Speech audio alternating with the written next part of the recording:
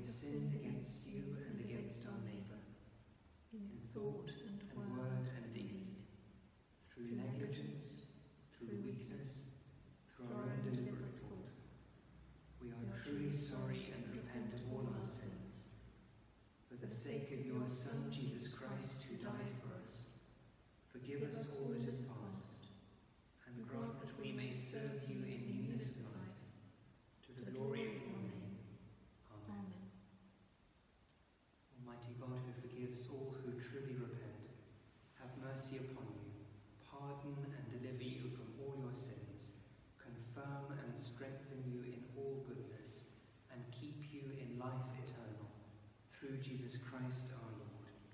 Amen. Glory to God in the highest, and peace to his people on earth. Lord God, heavenly King, Almighty God and Father, we worship you, we give you thanks, we praise you for your glory. Lord Jesus Christ, only Son of the Father, Lord God, Lamb of God, you take away the sin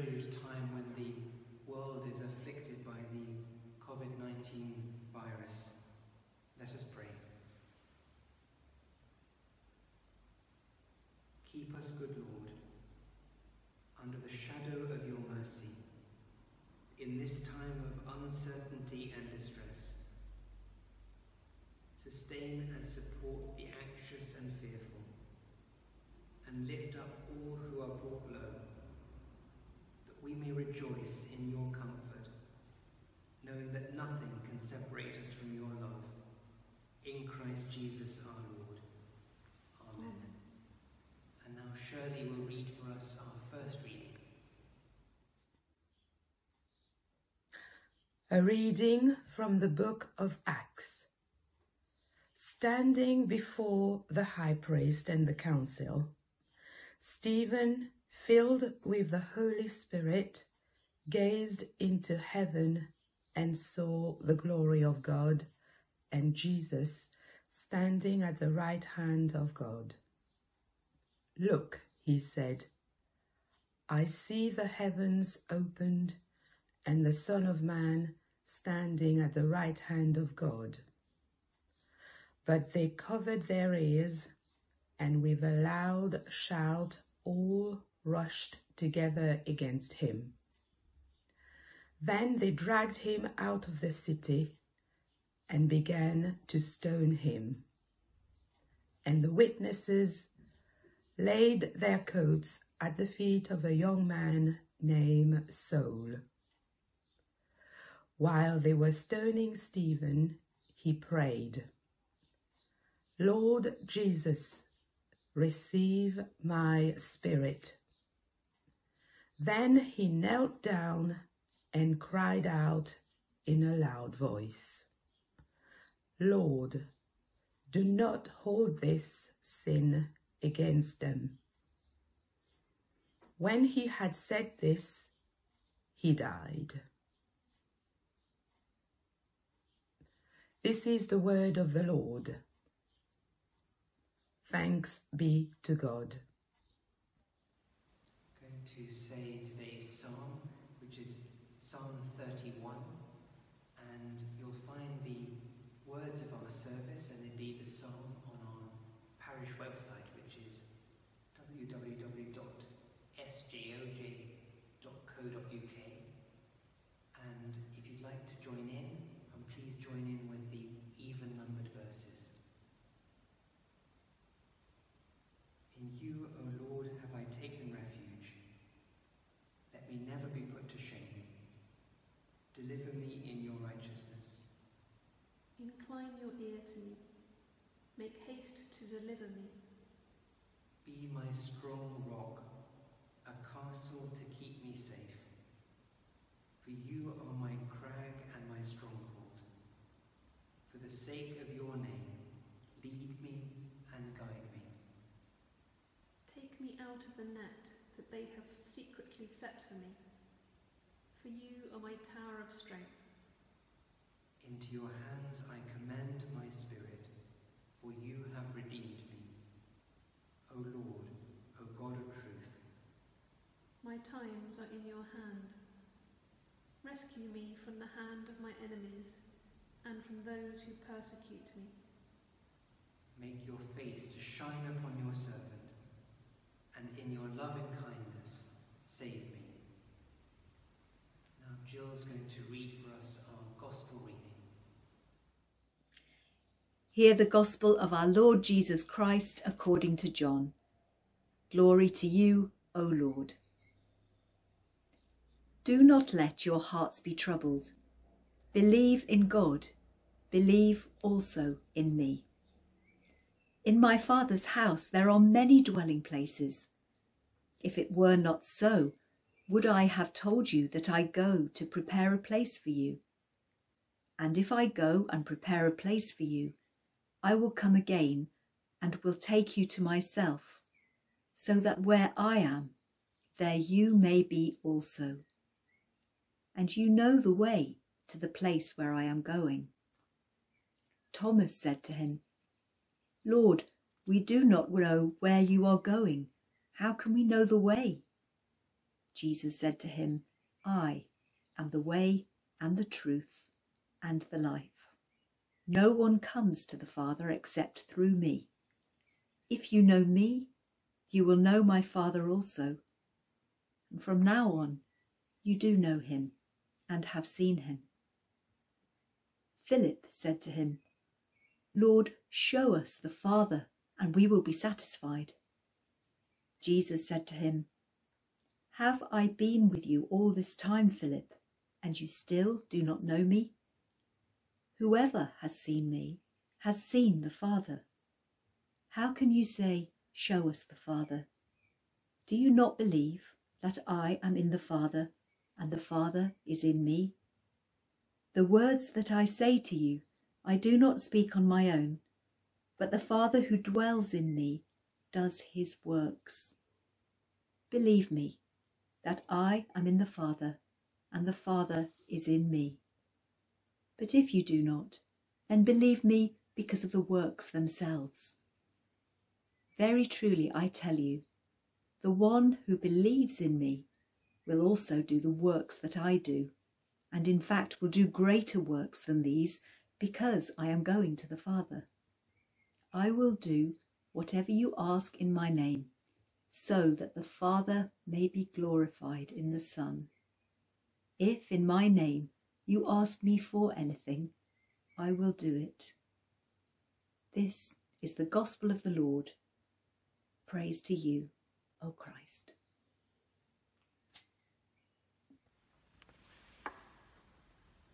There are often too many possible themes to honour properly on any given Sunday, so you have to make choices. There are a number of things I won't be talking about today, but they are really important. Firstly, today is the start of Christian Aid Week. The best way to engage with that and to give under these conditions is via their website christianaid.org.uk. And there's even a pre recorded quiz with former Archbishop Rowan Williams if you're missing the one that we should have been having in the parish. We would also have been marking Dying Matters Awareness Week from the 11th to the 17th of May. Again, their website, dyingmatters.org org is a good place to start. Their strapline is Dying Matters, let's talk about it. Never perhaps more important than in this context. By God's grace, may I speak in His name, who is Father, Son, and Holy Spirit. Amen. John chapter 14, verse 1. Do not let your hearts be troubled. Believe in God, believe also in me. I want to tell you about an exchange with a very dear friend of mine which took place during this last fortnight. It has two aspects to it in part, it's about something he ended up doing himself, which I also ended up finding very helpful. And in part, it's about some good advice which he gave to me. My friend had found in his attic letters which were written by family members who have since died.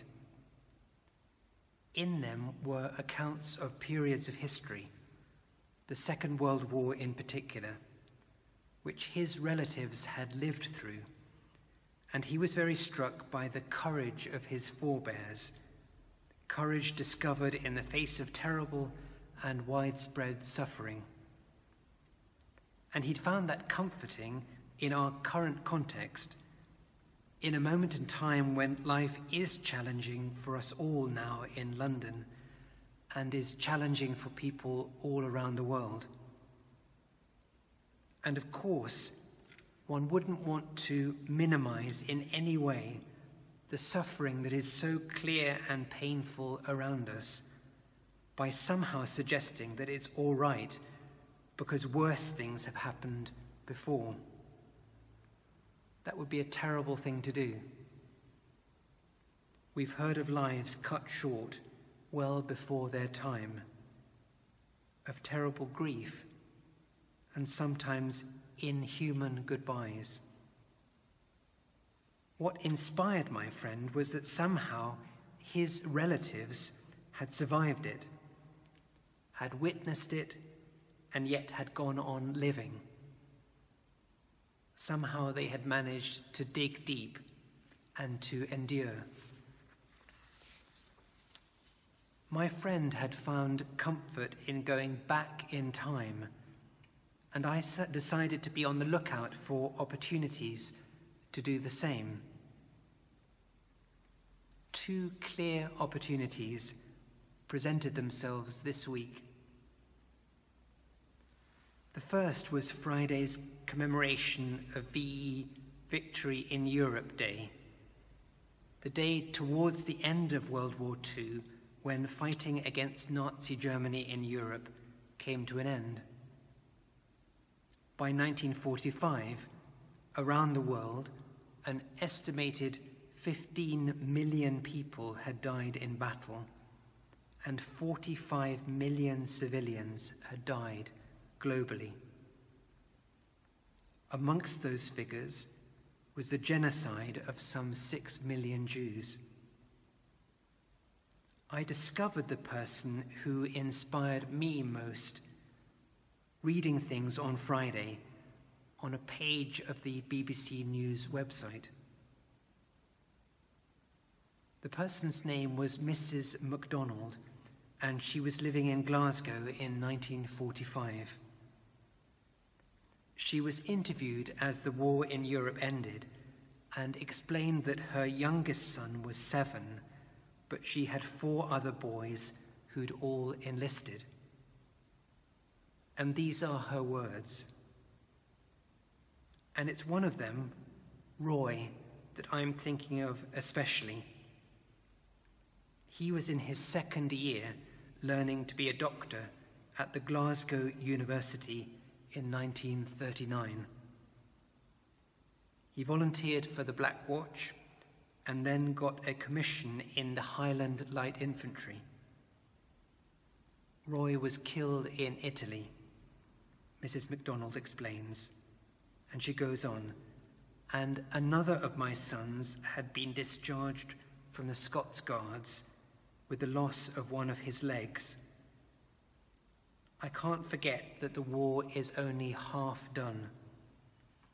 I have another son in the Air Force in Southeast Asia. And my second youngest has just gone into the Fleet Air Arm. On this day of victory, I pray that soon the war in the East will be over too, so that with your sons they will return home before long.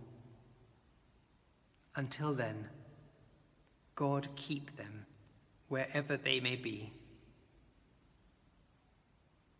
And there the interview ends.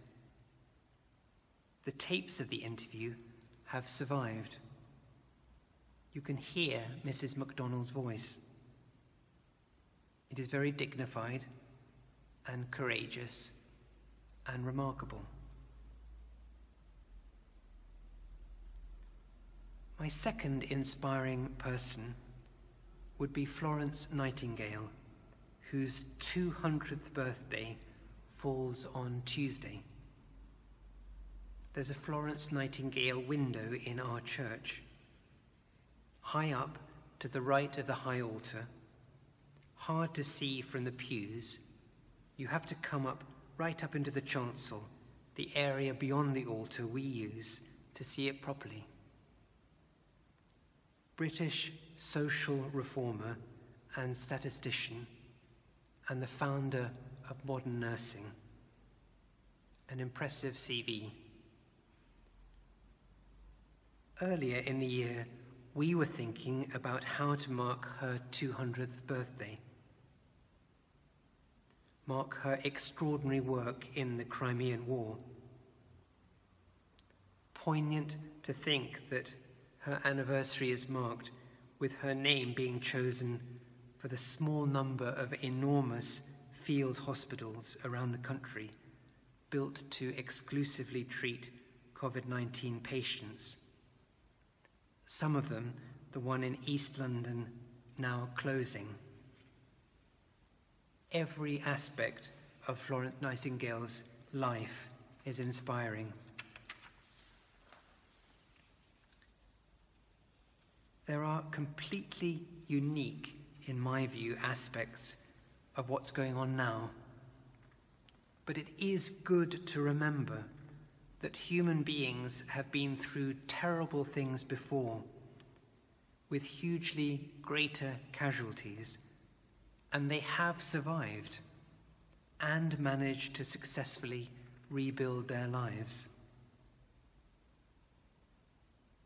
And how about the good advice that my friend gave to me?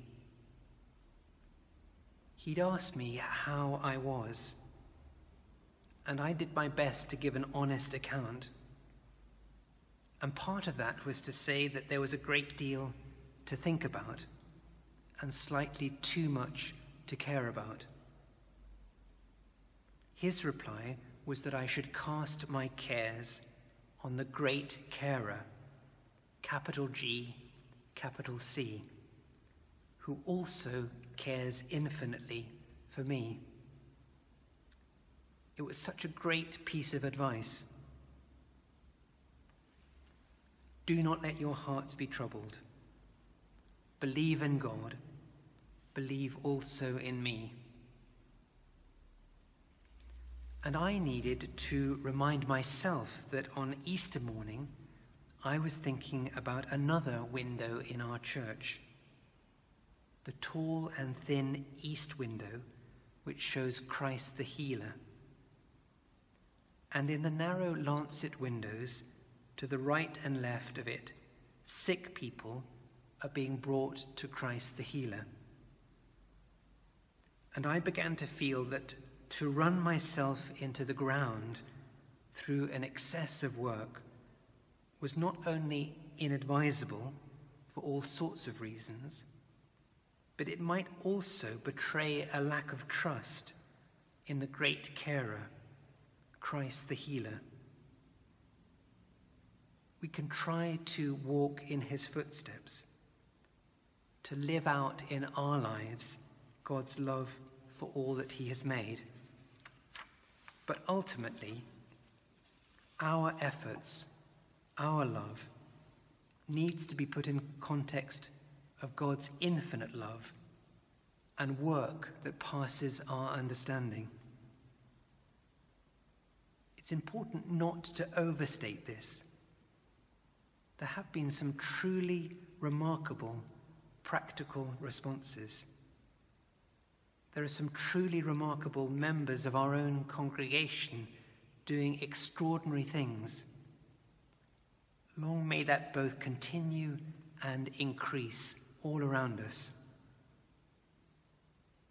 But spiritually, it seems very important to me to know where your heart is fixed. In this case, on God.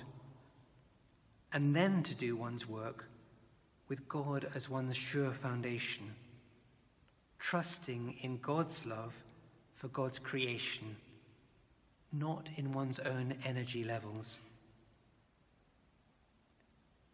The single most concise and perceptive piece of commentary on what's going on at the moment, in my mind, has come from a non Anglican, from Pope Francis.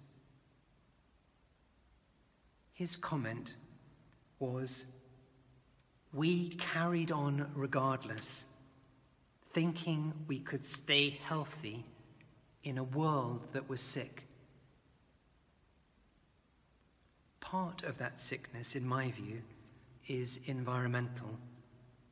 Part of it is about all sorts of aspects of social inequality. I feel we need to be very careful indeed about wanting to go back to the way things were. It seems to me, and many people I've been talking to with our, within our congregation, that we could do a great deal better. Do not let your hearts be troubled. Believe in God. Believe also in me. Amen.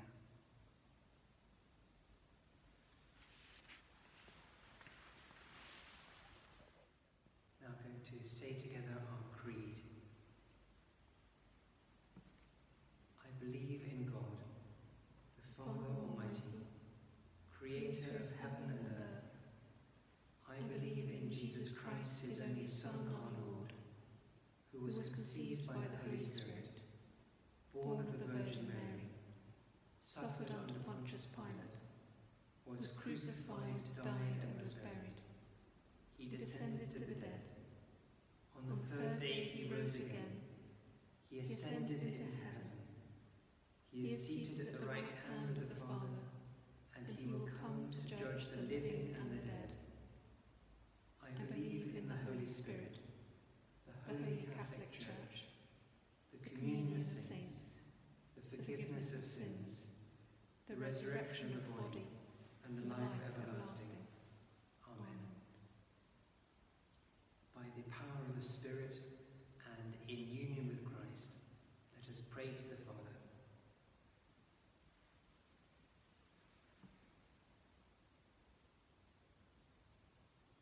Lord, we thank you for your love for us.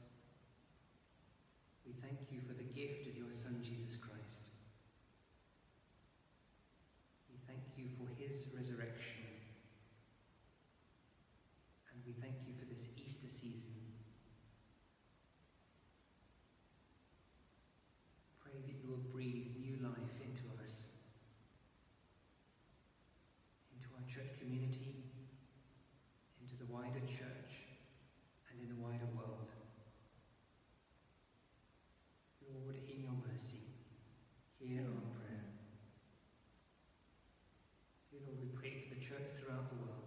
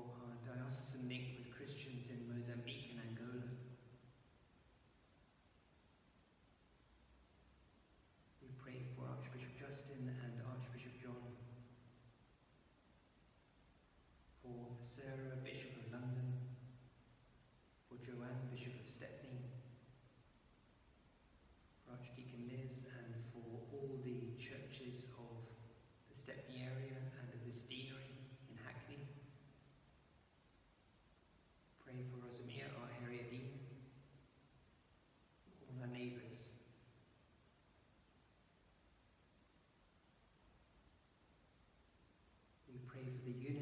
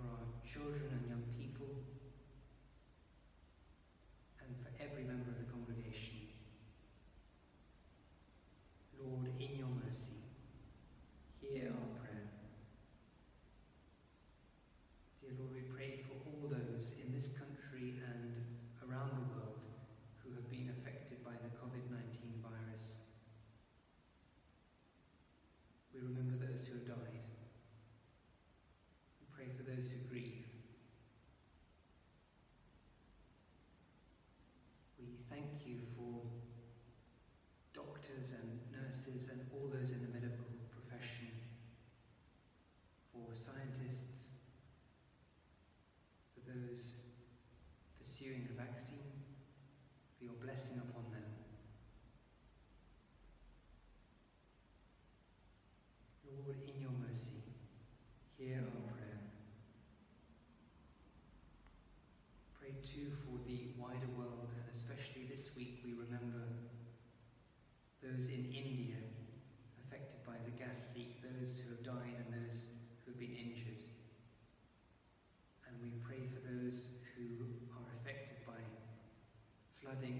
Africa, for those who've lost their lives, for all those affected.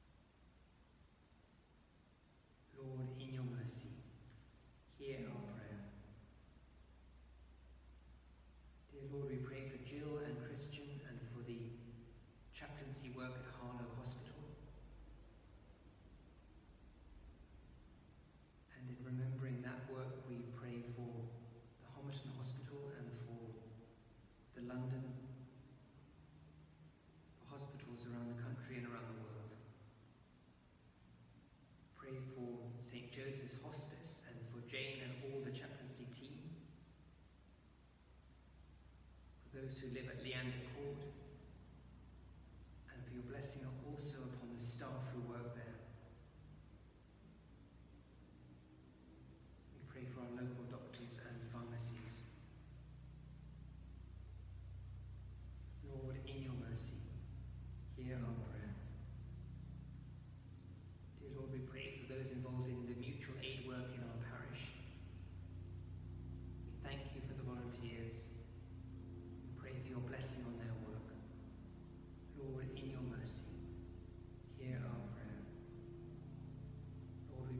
Church School, for Azarina and Renee, and for all the staff and every child in our school, and for all our local children and young people.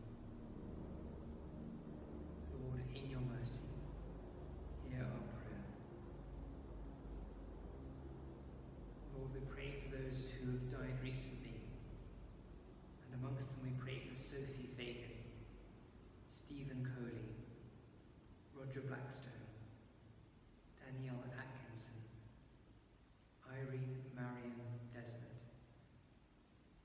William Rees.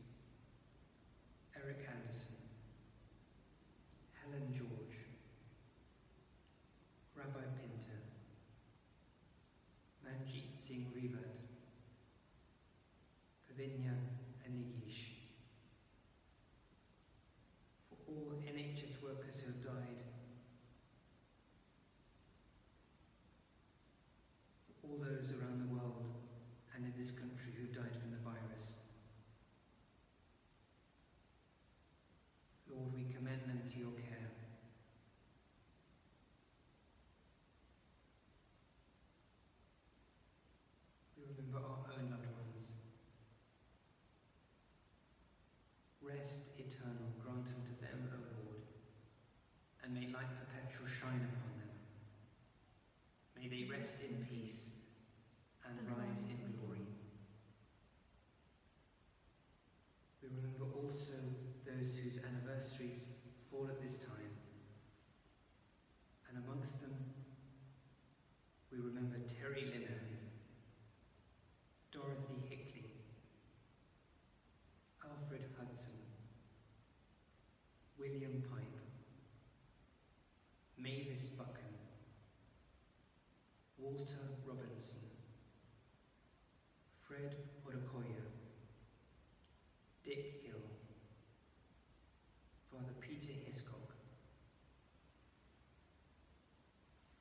We remember them with thanksgiving and we pray for all who grieve for them.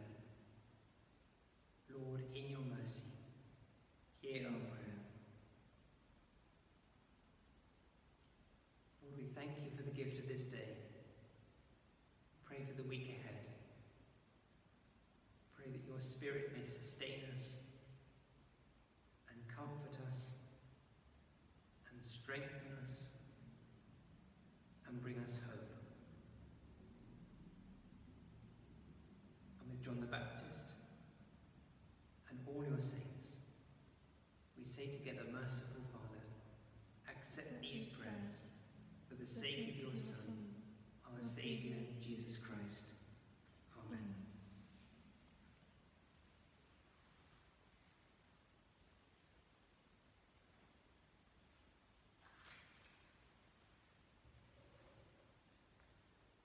risen Christ came and stood among his disciples and said, Peace be with you.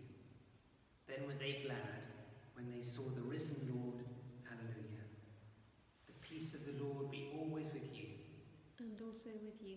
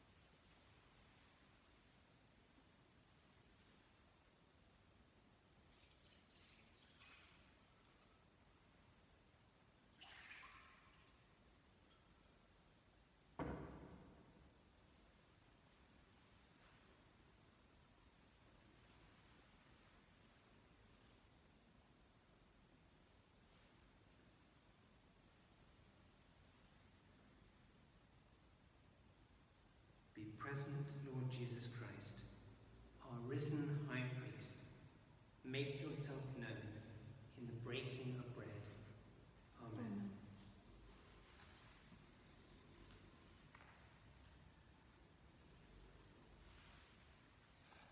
The Lord is here. His Spirit is with us. Lift up your hearts. We lift them to the Lord.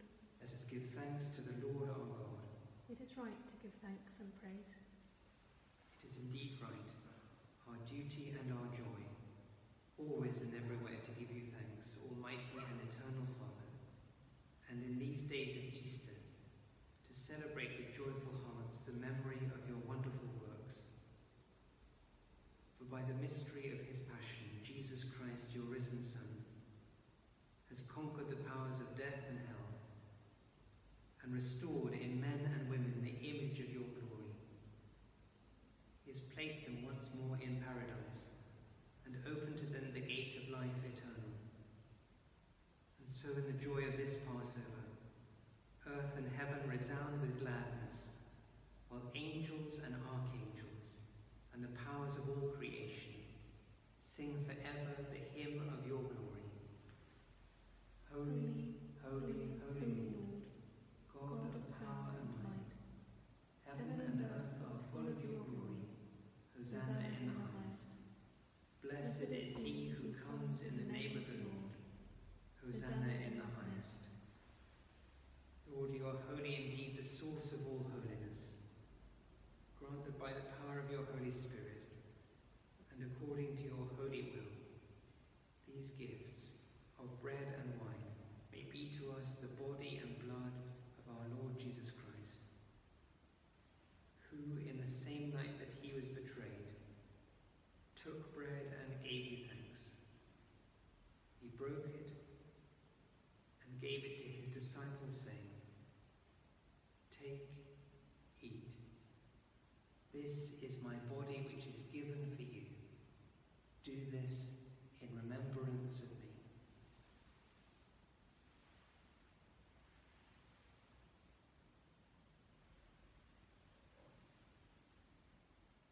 In the same way, after supper, he took the cup and gave you thanks. He gave it to them, saying, Drink this, all of you. This is my blood of the new covenant, which is shed for you and for many for the forgiveness of sins. Do this as often as you drink it, in remembrance of me.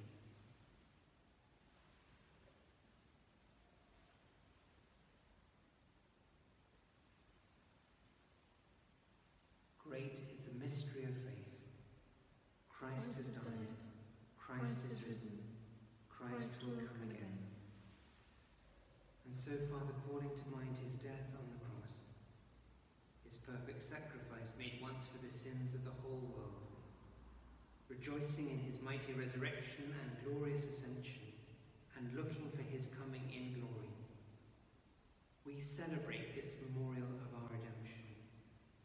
As we offer you this, our sacrifice of praise and thanksgiving, we bring before you this bread and this cup, and we thank you for counting us worthy to stand in your presence and serve you.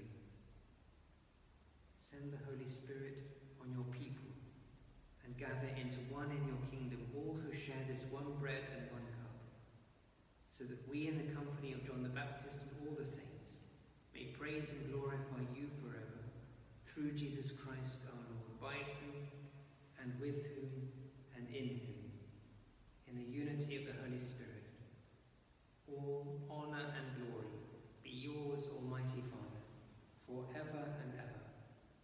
Amen.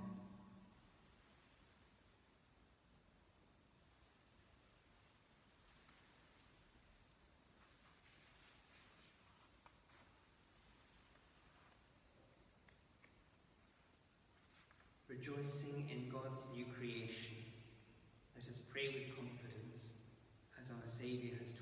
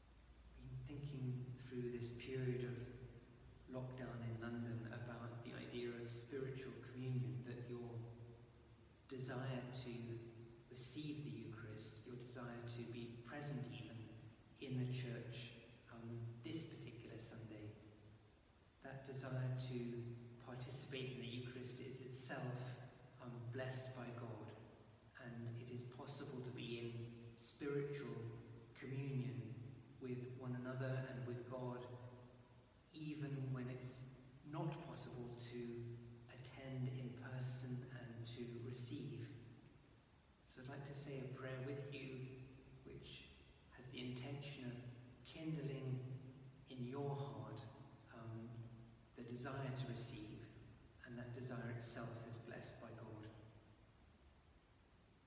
So if you'd like to repeat after me these lines of this prayer. Thanks be to you, Lord Jesus Christ, Thanks be to you, Lord Jesus Christ, for all the benefits that you have given me, for all the benefits you have given me, for all the pains and insults you have borne for me. All the pains and insults you have borne for me. Since I cannot now receive you sacramentally, Since I cannot now receive you sacramentally, I ask you to come spiritually into my heart. I ask you to come spiritually into my heart.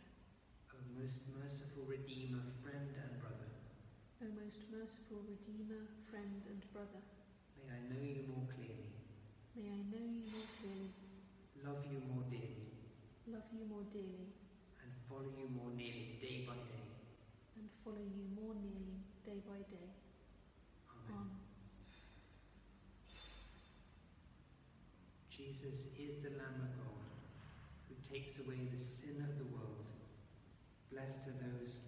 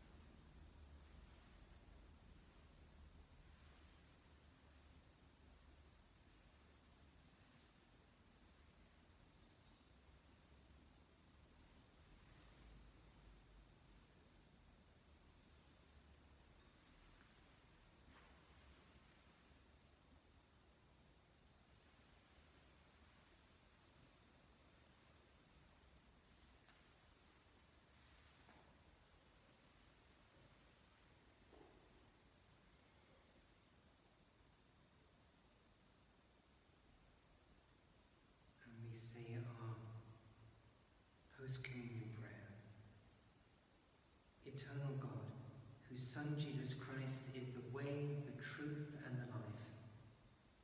Grant us to walk in his way, to rejoice in his truth, and to share his risen life, who is alive and reigns, now and forever. Amen. Almighty God, we thank you for feeding us with the body and blood of your Son Jesus Christ. Through him we offer you our souls and bodies to be a living sacrifice. Send us out in the power of your Spirit to live and work to your praise and glory. Amen. Just a few notices. First of all, to greet um, every member of the congregation and anyone who's joining us for worship today. We've gone into the practice of having a get together at 11 a.m.